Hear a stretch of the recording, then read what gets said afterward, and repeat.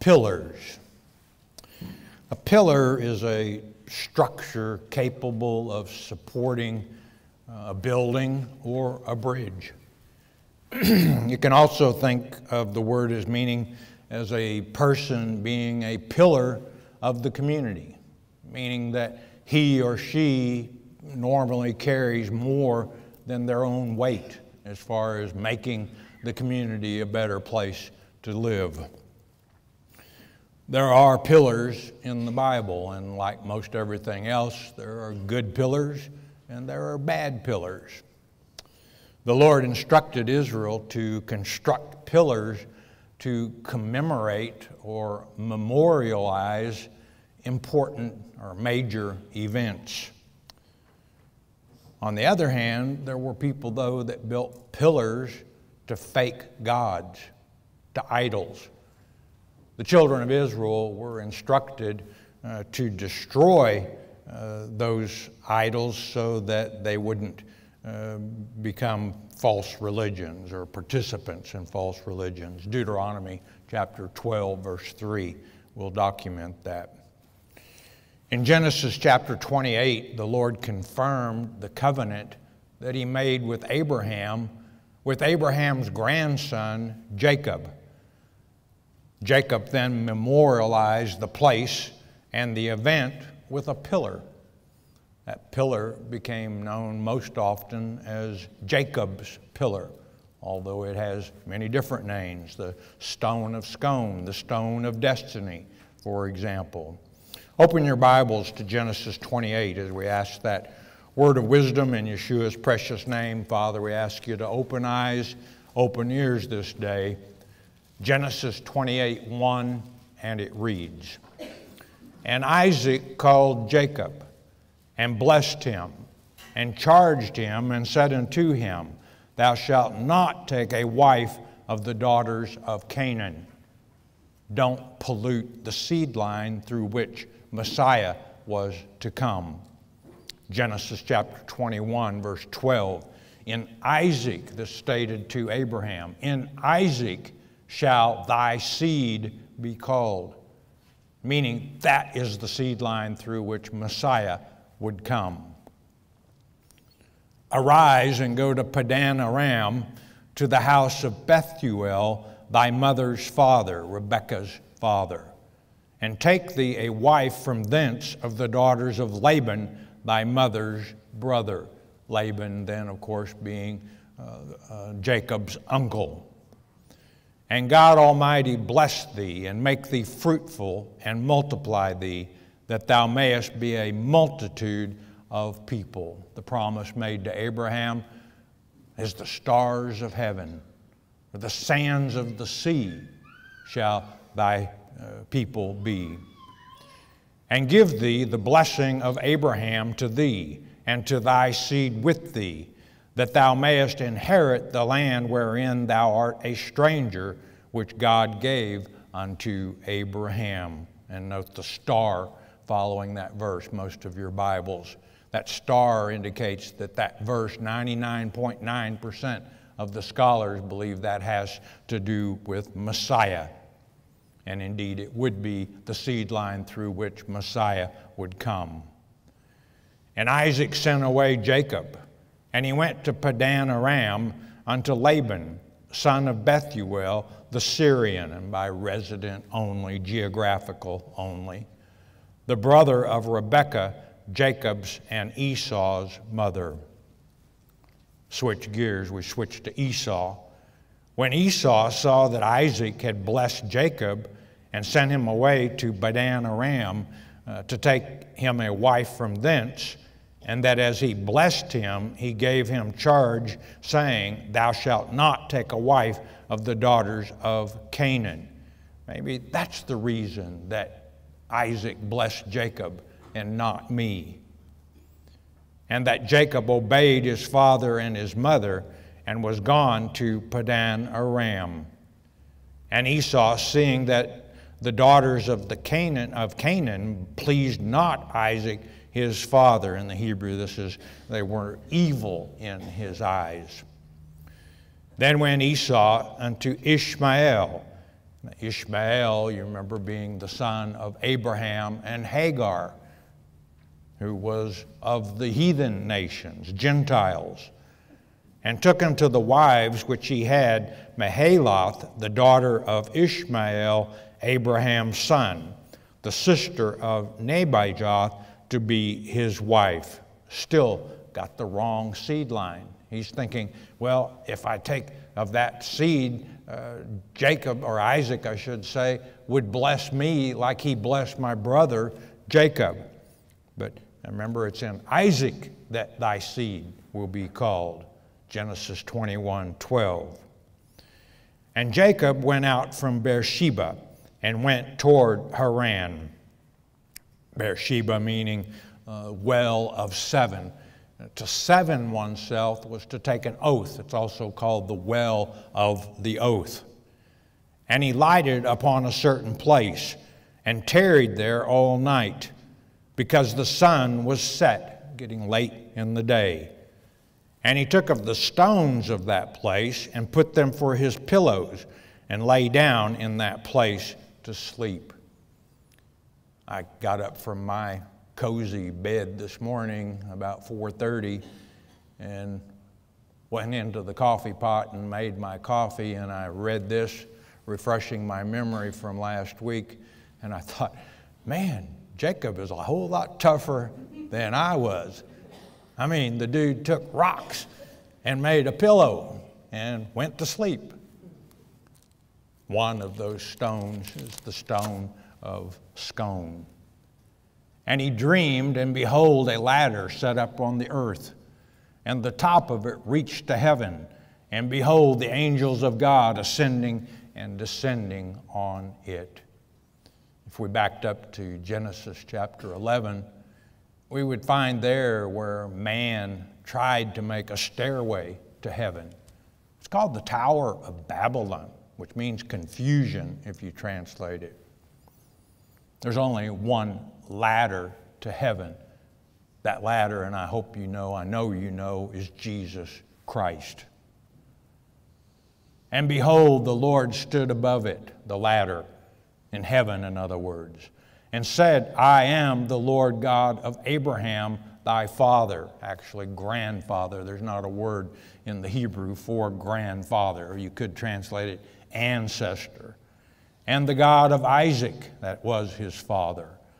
The land whereon thou liest, to thee will I give it, and to thy seed. That's the covenant. That's the promise that God made to Abraham. And here he's renewing, reestablishing that covenant with Abraham's grandson, Jacob. And thy seed shall be as the dust of the earth, and thou shalt spread abroad to the west, and to the east, and to the north, and to the south and in thee and in thy seed shall all the families of the earth be blessed. Again, you see a star in most of your Bibles referring to Messiah. That's why all people would be blessed from the seed of Abraham. Messiah came through that seed. And behold, I am with thee, and will keep thee in all places whither thou goest, and will bring thee again into this place for I will not leave thee until I have done that which I have spoken to thee of. Man breaks covenants, God does not. And Jacob awaked out of his sleep, and he said, Surely the Lord is in this place, and I knew it not. What an awesome experience for God to speak to someone. And God often spoke to people in their sleep. Uh, Solomon comes to mind. And he was afraid and said, How dreadful or how awesome is this place! Exclamation point. This is none other but the house of God, Bethel in the Hebrew language. And this is the gate of heaven. And Jacob rose up early in the morning and took the stone that he had put for his pillows and set it up for a pillar and poured oil upon the top of it, the oil uh, sanctifying it or setting it apart. Now, this word pillar in the Hebrew is matzabah. It's something uh, stationed, that is to say, a column or a memorial. In a bad sense, a negative sense, it could be translated an idol. And he called the name of that place Bethel, the house of God. But the name of that city was called Luz at the first. It was built and named by a foreign nation. And Jacob vowed a vow, saying, If God will be with me and will keep me in this way that I go, and will give me bread to eat and raiment to put on, so that I come again to my father's house in peace, then shall the Lord be my God.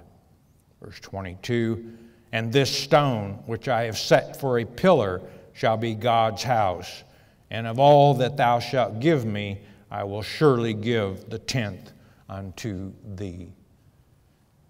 We recently saw King Charles III, anointed, coronated King of Great Britain.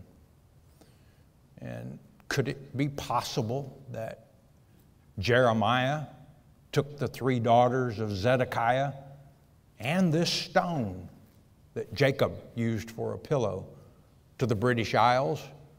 You know, a lot of people have said, Isn't it remarkable how close the British coronation, the throne, is to the anointings of the kings of Israel and Judah. It's not a coincidence. Is it possible that this happened? That Jeremiah took the stone and Zedekiah's three daughters? I think it's more probable than possible.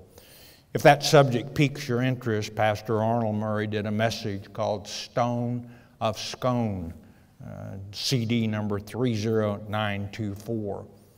We also offer a book in our library entitled Jacob's Pillar uh, and a DVD by E. Raymond Capt uh, by the title A Documentary Stone of Destiny. There's another Hebrew word for pillar found in the Bible. Let's go to Genesis 19 as we continue our study on pillars.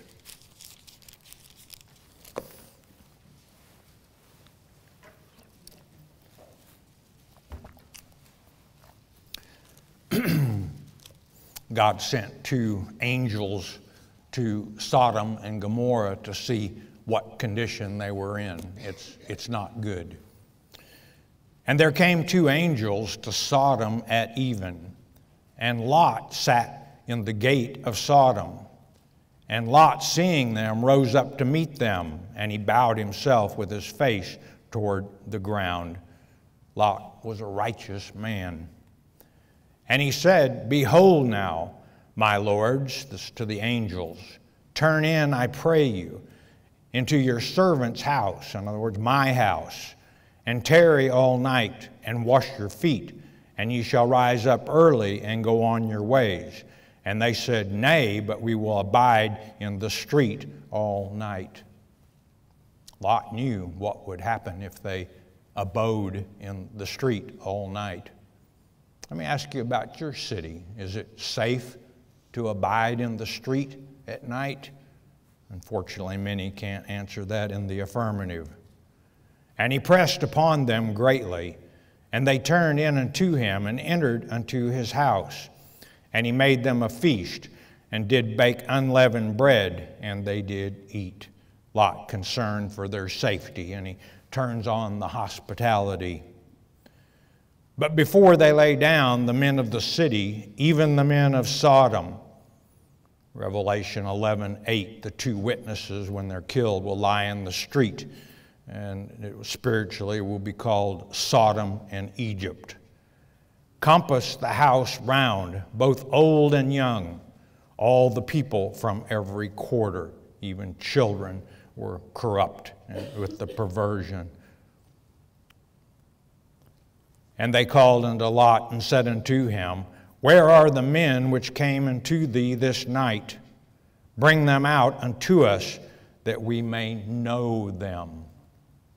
Moffatt translates this a little more bluntly that we may rape them, is what Moffatt translates this know them. You know, it's not much different today. Can you imagine? And some of you are too young to even relate to this, but if you're 40 years or older, you can relate to how much things have changed in the last 30 years. Used to, if we wanted to know the sex or gender of a puppy, we raised it up and looked between its legs, and we knew whether it was male or female. How many of you would believe 30 years ago if someone had told you that if a man wanted to go into a female's restroom and use it and be protected by the federal government, would you believe that could happen? No. 30 years ago, the month of June was not designated as Gay Pride Month. A whole entire month of this.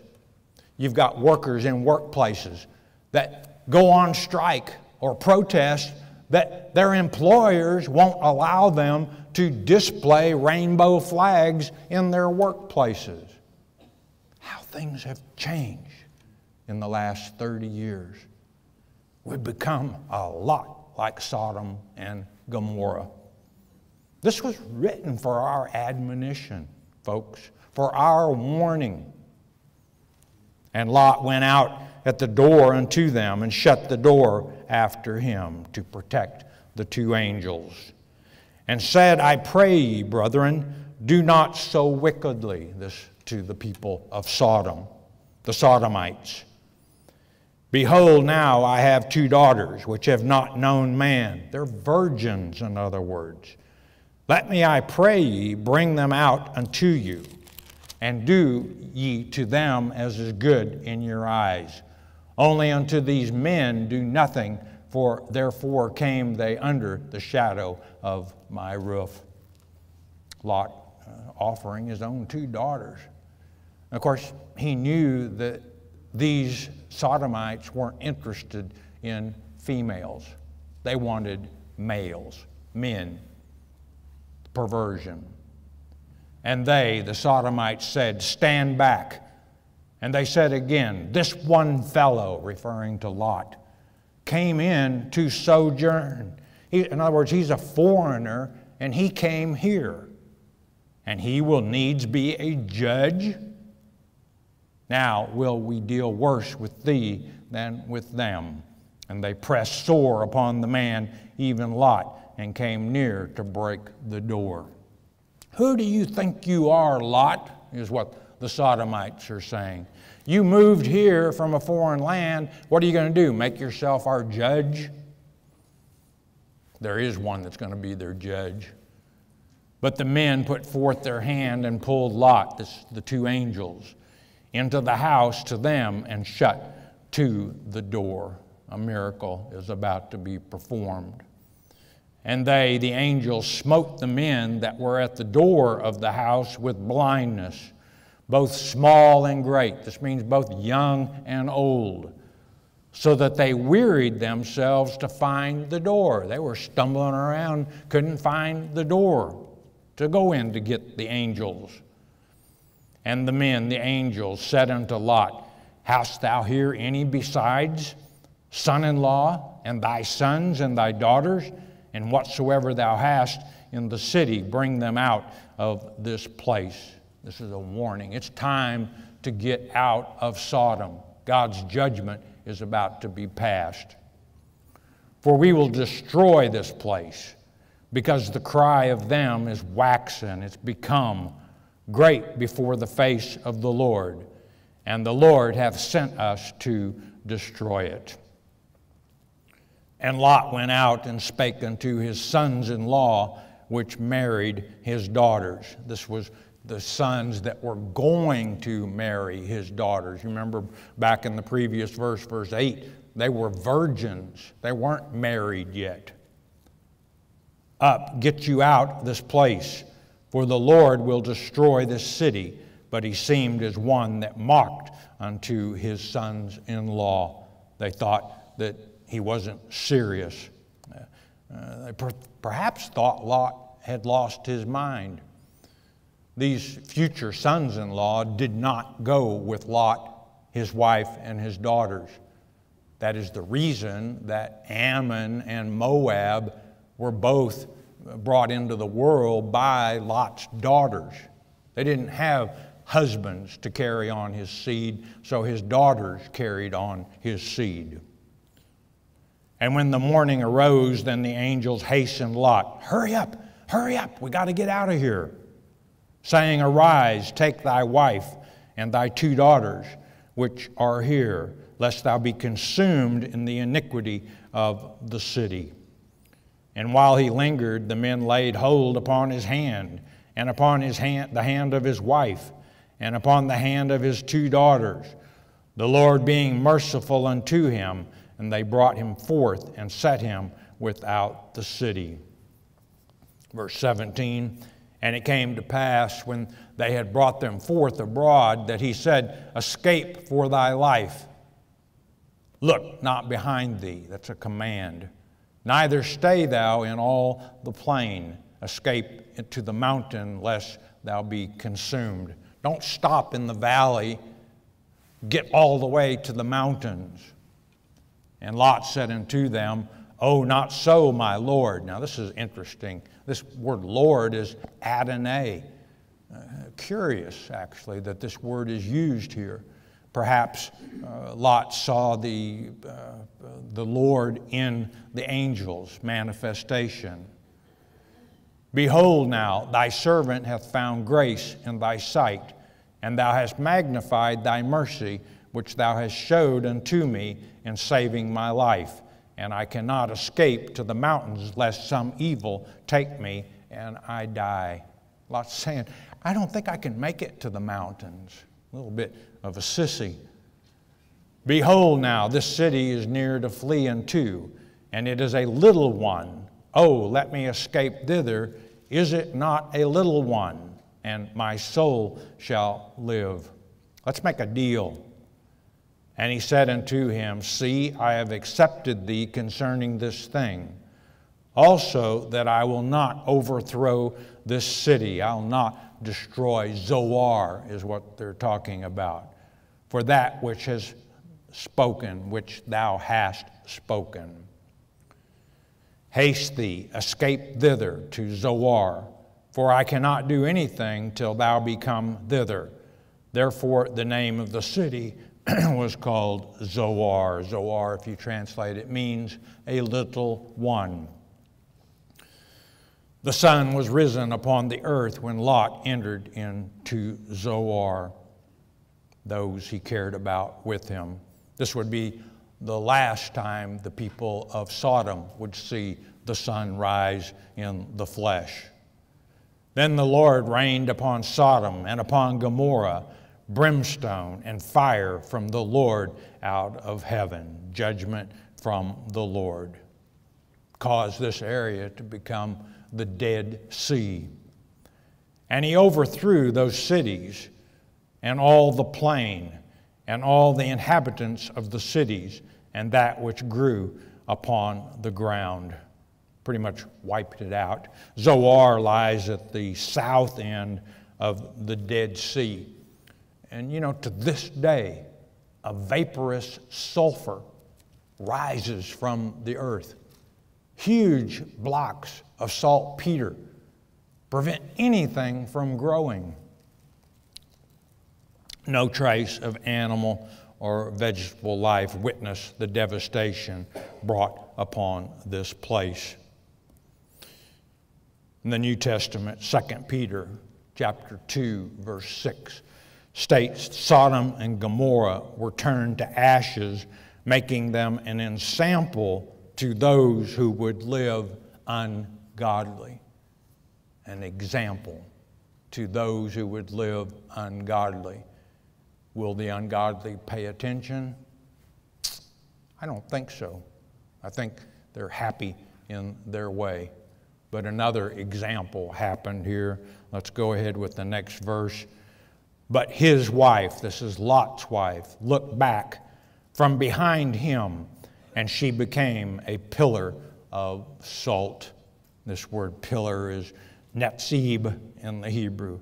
It means something stationary, such as a statue. This happened too as an example to those who would live ungodly. The Lord instructed Joshua to build a pillar where Israel crossed over Jordan into the promised land. Turn with me to Joshua chapter 4, verse 1, as we continue our study.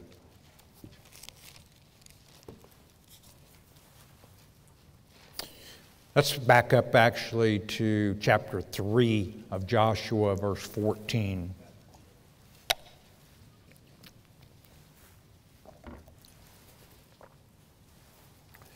And it came to pass when the people removed from their tents to pass over Jordan, and the priest bearing the ark of the covenant before the people.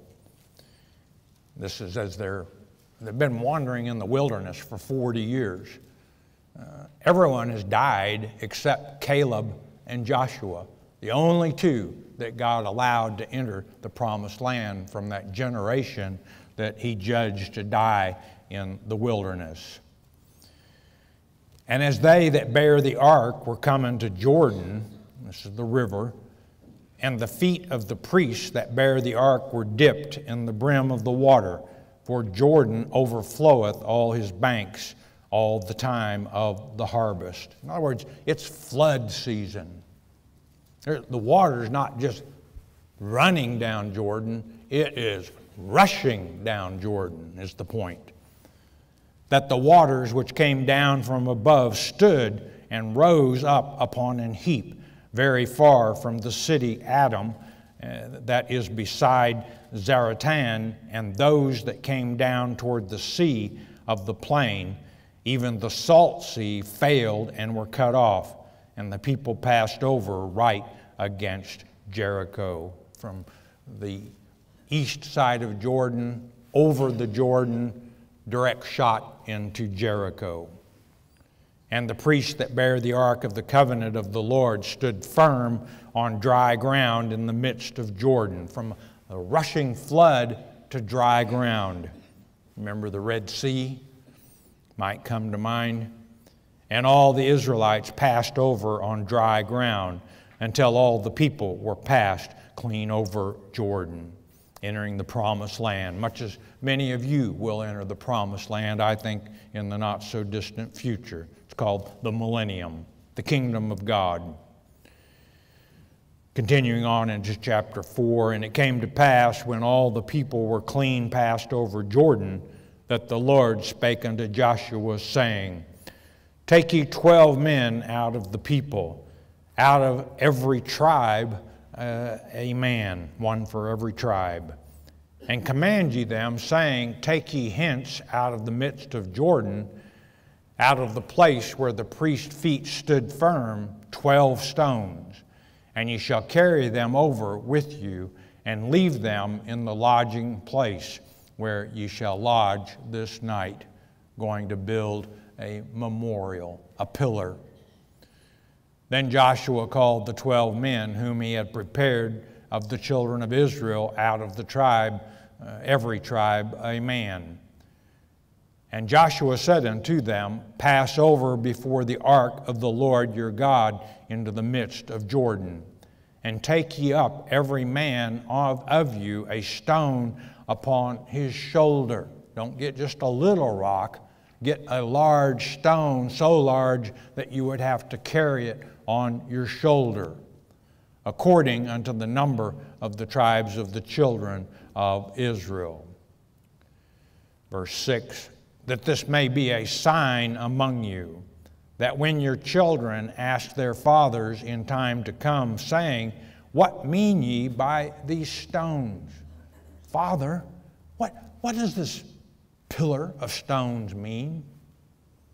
Then ye shall answer them, that the waters of Jordan were cut off before the ark of the covenant of the Lord when it passed over Jordan. The waters of Jordan were cut off, and these stones shall be for a memorial unto the children of Israel forever. Don't forget what the Lord has done for you.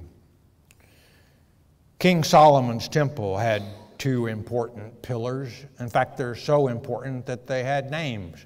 Turn with me to 1 Kings chapter 7, verse 13.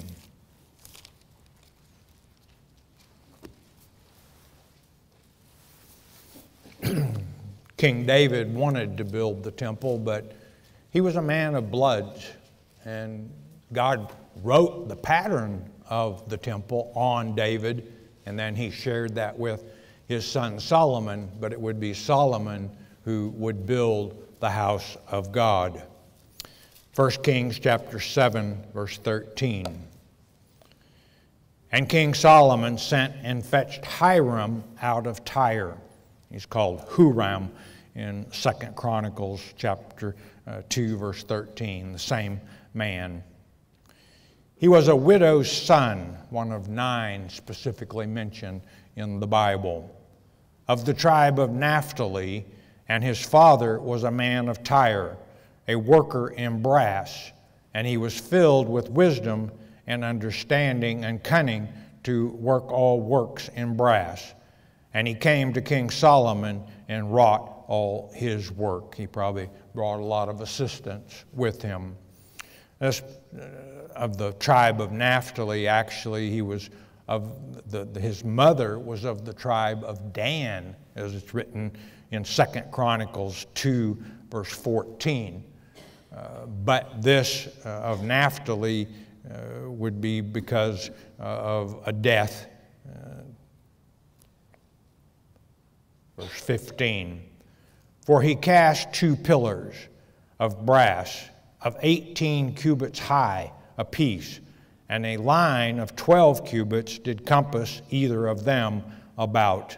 A cubit, uh, subject to whose definition, let's just use two feet for easy calculating. Uh, 18 cubits times 2 would be 36 feet tall. Uh, the circumference is what the uh, compass, either of them round about, is 12 cubits, would be 24 feet in circumference.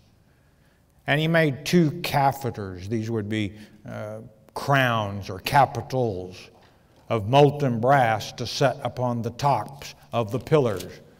The height of the one chapiter was five cubits. Biblical numerics, you know, five is grace and the height of the other chapiter was five cubits.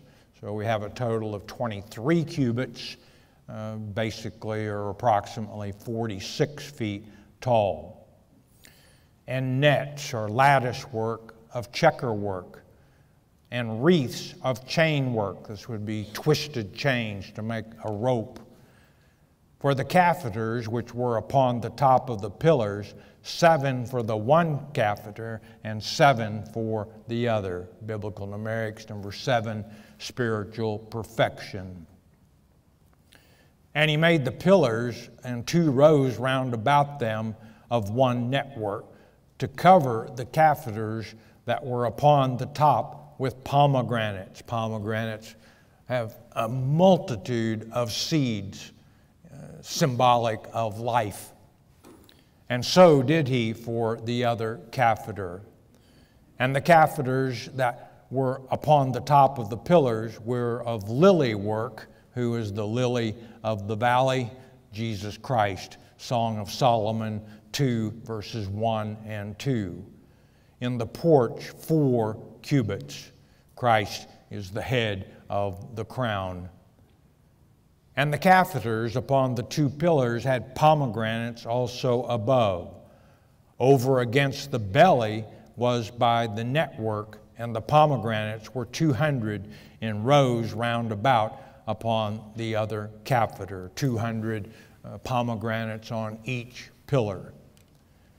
And he set up the pillars in the porch of the temple. And he set up the right pillar and called the name thereof Jachin. Jachin means he shall establish. And he set up the left pillar and called the name thereof Boaz. In him is strength, translated. Now, these two pillars were temporary. Turn with me to Jeremiah chapter 52.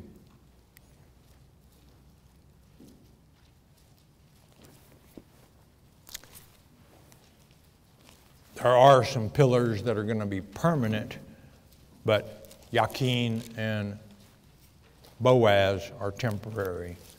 Jeremiah 52 17, we're all the way to the taking of Jerusalem into captivity. Not going to cover a great deal there. Verse 17. Also, the pillars of brass that were in the house of the Lord, and the bases, and the brazen sea that was in the house of the Lord, the Chaldeans, that's the same as the Babylonians, break and carried all the brass of them to Babylon. You all know where I'm going in conclusion. Revelation chapter 3. The permanent pillars in the temple. Revelation chapter 3. Let's pick it up with verse 1.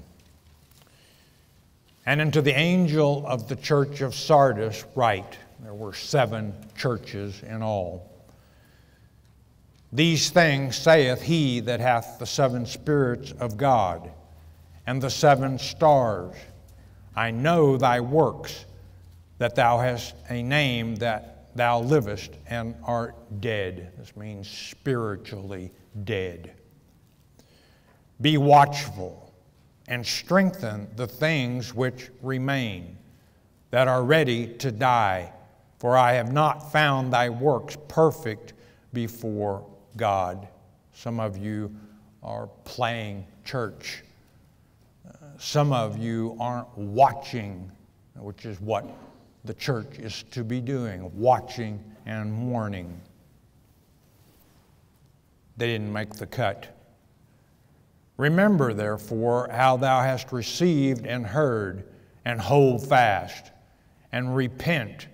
If, therefore, thou shalt not watch, I will come on thee as a thief, and thou shalt not know what hour I will come upon thee. In other words, you will be deceived by the Antichrist.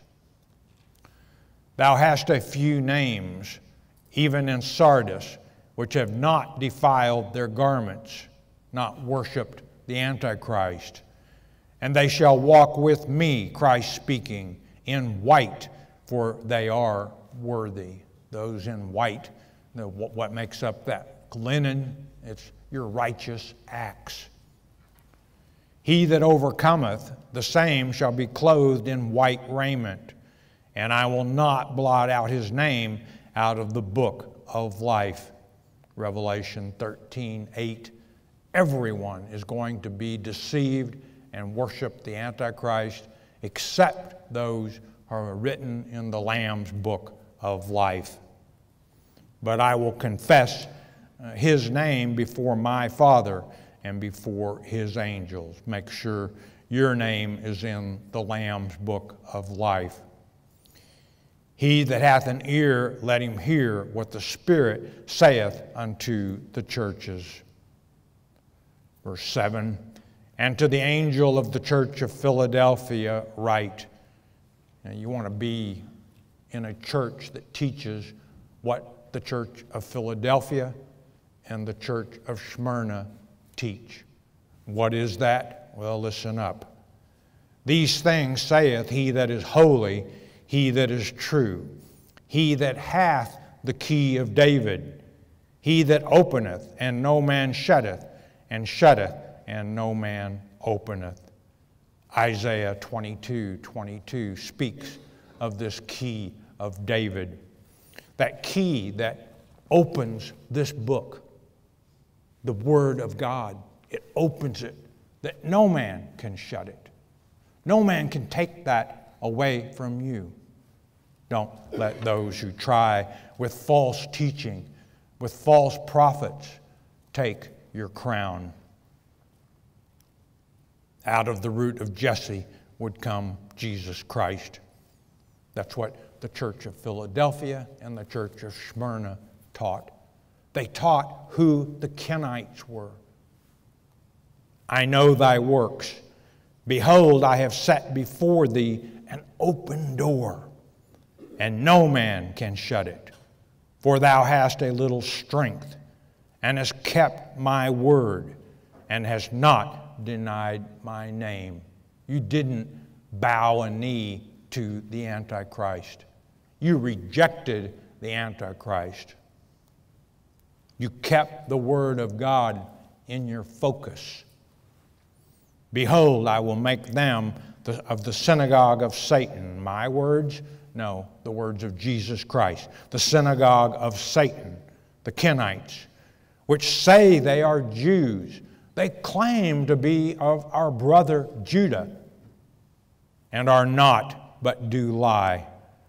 Behold, I will make them to come and worship before thy feet and to know that I have loved thee.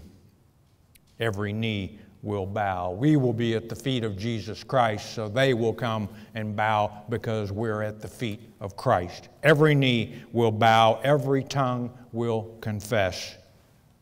Because thou hast kept the word of my patience, I also will keep thee from the hour of temptation, that hour mentioned in Mark chapter 14 verse 35, which shall come upon all the world to try them that dwell upon the earth. Are you going to be tempted in the hour of temptation? No, you're not going to be tempted.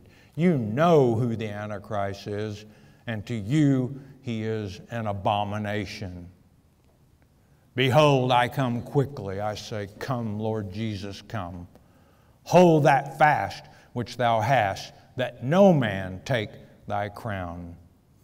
Him that overcometh, that's you, beloved, you who will be singing the song of Moses, Revelation 15:3, and the song of the Lamb. I make uh, him that overcometh, will I make a pillar in the temple of my God, and he shall go no more out. And I will write upon him the name of my God and the name of the new city of my God, which is New Jerusalem. Do you know what that name is? Ezekiel chapter 48, verse 35. In the Hebrew tongue, Yahweh Shammah, the Lord is there. Come, Lord Jesus, come. Which cometh down out of heaven from my God, and I will write upon him my new name.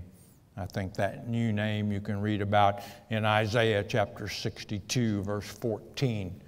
Hephzibah, my delight is in her. Her land shall be called Beulah, which in the Hebrew tongue is married. He that hath an ear, let him hear what the Spirit saith unto the churches a pillar uh, of the community, someone who carries more than their share of the load. That's what God's elect are. They, they are willing to do more than what others. That's the reason you're going to be a pillar, eternal pillar in the temple of God. Think about that. What an honor. Don't let anyone take your crown with false teaching. Hold on to that word, as Jesus said. Be steadfast. Don't be a reed blown in the, ring, the wind one way and then by one doctrine and then another by a doctrine. The doctrine that's important to us is right here, right here in the Word. Hold fast the Word of God that no man take your crown. Be a pillar in the temple of God. Let's go to his throne. Yahweh, Heavenly Father, we thank you for your written word, Father, your word that tells us how to be pleasing to you, Father. We ask that everything we do the rest of this day be to the honor and glory of your name. Father, bless this congregation. We're always careful to give you the praise. In Jesus' precious name, amen. The Mark of the Beast on CD is our free introductory offer to you. What is the Mark of the Beast? Many false teachers would have you believe it will be a tattoo on your forehead or a computer chip implanted under your skin. It is getting late in the game. You need to know what the mark of the beast is. As it's written in Revelation chapter 13, verse 8, many will be deceived. There is no need for you to be deceived. Christ said in Mark 13, 23, Behold, I have foretold you all things. Jesus indeed told us how not to be deceived, and Pastor Arnold Murray takes you on a step by step study of God's Word concerning this critical subject, the mark of the beast. The telephone call is free. The CD is free. We don't even ask for the shipping and handling. It is free as well. All you need to do is call 800 643 4645 to request your one time, one per household copy of The Mark of the Beast. You may also request your free CD by mailing your request to Shepherd's Chapel, Post Office Box 416, Gravette, Arkansas 72736. Don't be deceived by Satan. Uh, Reuben was the sign of man. Ephraim was the ox or calf, and Dan the eagle. I think, excuse me, it's going to be very interesting to see uh, what it is the setup in the millennium, or, or better yet, in the eternity, uh, something to do with those uh, four camps of the tribes of Israel is got something to do with the Zun and the Zoi. I'm sure of it. Uh, it's going to be interesting to find out what that is in the future. John in Kentucky, please explain Leviticus chapter 22, verse 5. And it states there, Whosoever uh, toucheth any creeping thing is unclean, or a man of whom he may take uncleanness, whatsoever uncleanness he hath. Uh, creeping things are basically bugs, if you will. The latter part of the verse is talking about coming in contact with a man who is unclean uh, for the reasons listed in Leviticus chapter 15, verses 7 through 19, having to do with a, a running issue. Daniel in Texas. My question the children of God and the angels, are they one of the same or are they different? I believe that we were with God before we came to earth, but I have a hard time trying to explain this. Can you give me scripture that would help? Yes, I believe I can. Uh, Job chapter 1, verse 6. And what was going on there, Satan well, first of all, God and the sons of God, meaning the angels, were together. And Satan came up, and God said, Hey, Satan, where have you been? And he said, I've been walking to and fro on the earth. But they're called the sons of God or the angels, just as in Genesis chapter 6, verse 2. Uh, those are called the sons of God. They are the fallen angels there in Genesis chapter 6. CG in Texas.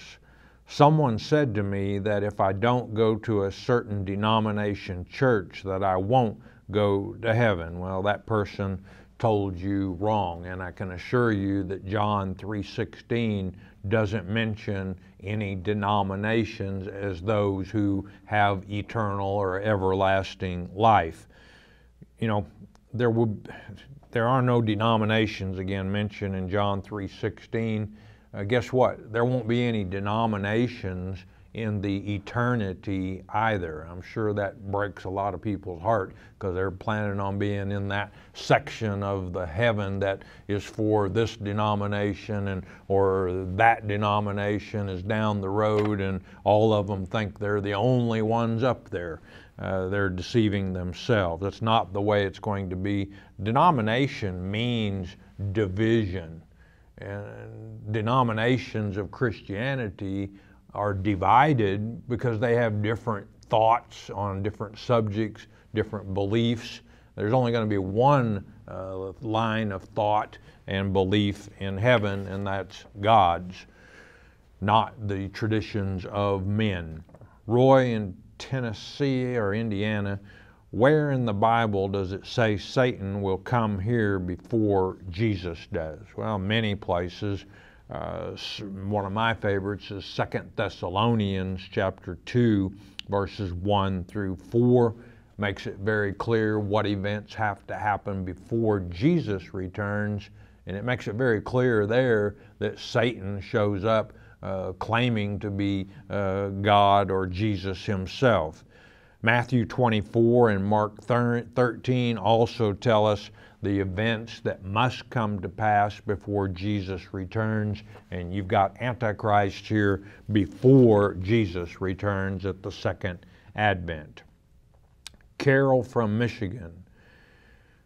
Please tell me the three generations, I think she means the length of generations, and where to find them in the Word. Well, you have a 40 year generation, a 70 year generation, and a 120 year generation found in God's Word. The 40 year generation comes from the book of Numbers, uh, chapter 14, where God judged the nation of Israel to wander in the wilderness, the desert, for 40 years until that generation died and then their children would move in and possess the promised land. Uh, 70 year generation you'll find in Psalm 90, uh, verse 10. Three score in 10 years. A score is 20. Three 20 times 20 is 60, plus 10 is 70. Uh, 120 year generation you find in Genesis chapter 6, verse 3. Hope that helps. Michael from Pennsylvania, 2 Corinthians 3 6 is the letter, the Ten Commandments, if it killeth, should the ten be followed? Yes and yes. The, the letter is the law, and we should do the best uh, we can uh, to follow God's commandments. Uh, what this verse means is that if we, um, if it up to us living by the law, none of us would have salvation. In other words, the law was good, but man is bad. And without Jesus Christ, none of us would find salvation if we were being judged by the law. Ellen in Missouri. Um, first, God bless you and family. Thank you, and, and God bless you as well. I have put this one on the shelf many times and have taken it off many times. The four virgin daughters of Philip. What are their names and where can I find them? Well, uh, they are not named. Uh, they're mentioned in Acts chapter 21, verses 8 and 9. It just simply states there that Philip had four virgin daughters and all of them did prophesy. That means to teach. David in Georgia, Dear Pastor Dennis, I am writing to ask when I study on my own. Afterwards, 10 minutes or so later, I can't remember what I read. I have to underline or highlight scripture to help me. my question is Will I fall to the Antichrist if I can't remember scripture? I would feel sad knowing I failed my father. I love him and I do not want to fail him. Thank you, Pastor Dennis. Much love to you and your staff. Well, much love right back at you, uh, uh, David. Memorizing Scripture is not important to understanding Scripture. David, I'm sure that you understand that the Antichrist comes first, and you understand that to worship him is to uh, is the unforgivable sin if you're one of God's election. And you're not going to fail your Father. You're going to be a soldier for your Heavenly Father. John in Tennessee. I take issue with a lot of your teaching. I think you are misleading a lot of people. However, I want I want to get in, I won't get into all that. Just one thing. I heard your announcer say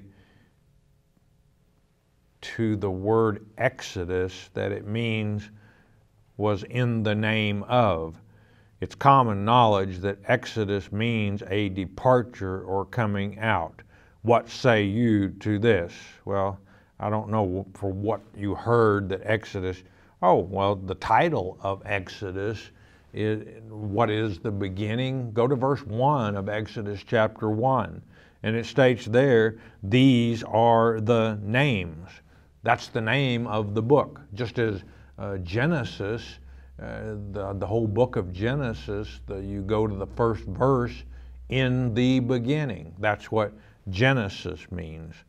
Leviticus, uh, Vayikra in the Hebrew tongue, means the Lord called. If you go to verse 1 of Leviticus chapter 1, the Lord called. Numbers is in the wilderness.